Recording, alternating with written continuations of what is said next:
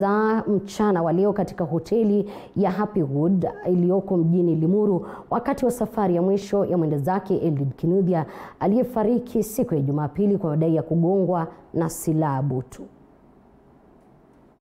Kulizuka kizaazaa mchana wa leo katika hoteli hii ya Happywood iliyoko mjini Limuru wakati wa safari ya mwisho ya mwenda zake Eliud Kinuthia aliyefariki siku ya Jumapili kwa madai ya kugongwa na silaha butu. Wandani wa familia wakihofia kuna njama fiche kufuatia tukio hilo la madai ya kilichopelekea mwana wao kuaga dunia.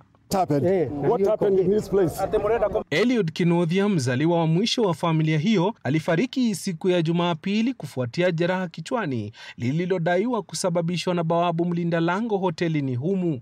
Kwa maana duthi ndio ilianguka, sijui akadaiwa shilingi hamsini na watchman, sijui hapo kwatokea maneno kijana anataka kumpiga, ndio naye watchman kamgonga na rungu. Kwa ajili eh, ako ndani.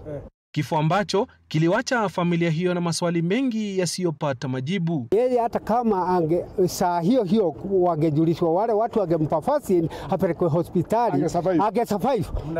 Sasa tunataka ukweli ujulikane na justice isije hapa itakuwa kichinjio ati watoto wetu wakija kujifurahisha kidogo, mawachman naitwa naua, halafu hiyo kesi naenda hivi hivi, napotea. Twakataa hayo we, kwa dhati. Hata hivyo uwepo wa polisi hotelini humu ulisitisha lolote kutokea na kuwaomba waombolezaji radhi kwa yaliyopata.